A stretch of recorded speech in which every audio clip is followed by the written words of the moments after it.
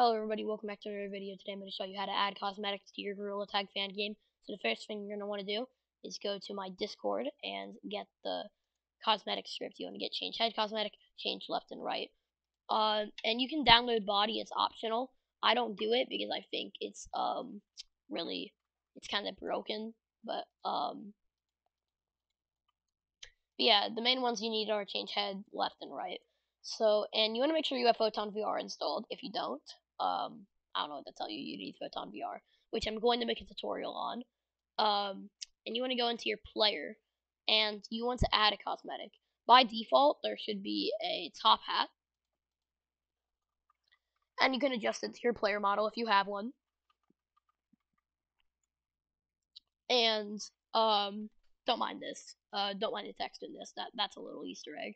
But um, but yeah, you can make your cosmetic and what and once your cosmetic is in here, so I'm gonna use the top hat for example. Um, you wanna make sure that uh, you can add a custom cosmetic from like like a model from Sketchfab or something. Okay, I, just wanted to see if that worked. Um, but uh, yeah, you want to make sure. So you just want to drag this in, adjust it to your player model or whatever, and then uh, make sure the check is off so that it's not on by default. And then you want to go back in here and don't mind this. This is from my previous video, which you should watch if you want to learn how to make a door that opens in your Gorilla Tag fan game or currency for this cosmetic. But um, what you want to do, you want to create cosmetic stand, I guess. It's optional. And you can make it like a mini cube, I guess. Some mini cubes and I guess this will be enable and this will be disable. But yeah, um, I'm gonna put some textures on it. Put uh, give this one.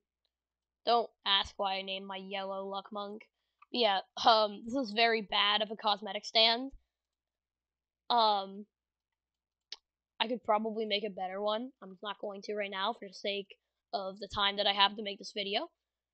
And, um, I'm just gonna adjust these real quick. I know I said I just wouldn't do that, but I guess not. Why not?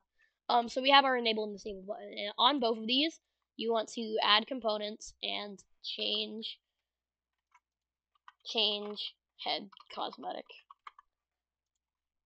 Um, or you could just drag the scripts on. But uh, yeah, both of these should have change heads cosmetic.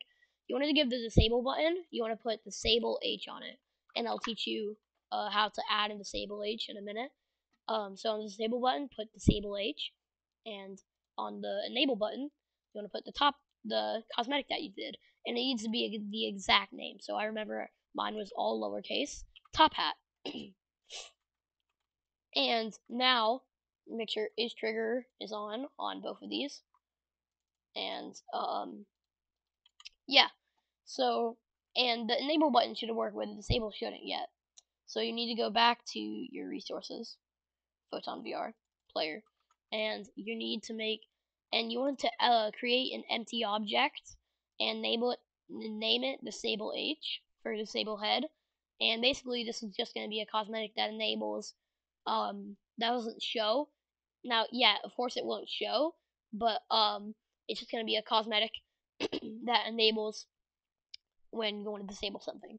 It's not going to get in your way. It doesn't have a collider, and you can leave this disabled for now. But I, yeah.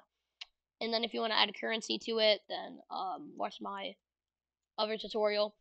And now these should both work. And you can drag the model. So in my case, it was a top hat. So like the model of the cosmetic so that people know what they're um, putting on.